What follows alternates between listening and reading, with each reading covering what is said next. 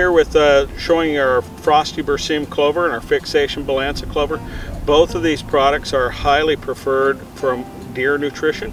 Uh, they, they do a lot of good. You look at the, the Berseem clover, it makes a good hunt over plot.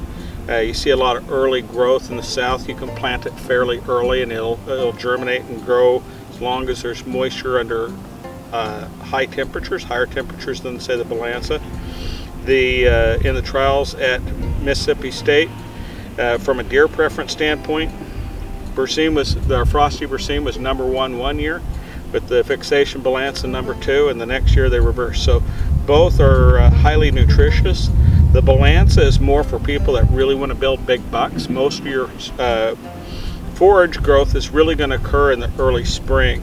And so where that comes in handy is that happens to be the time where the deer need the most nutrition. There's a lot of uh, limited nutrition at that time for deer and they need high crude protein sources to build big racks uh, to grow healthy big fawns.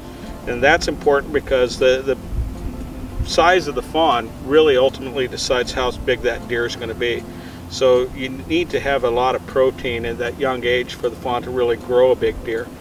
And also by having this high crude protein, the deer, when they need it, can really put on, uh, afford to divert a lot of energy to producing a more impressive set of antlers.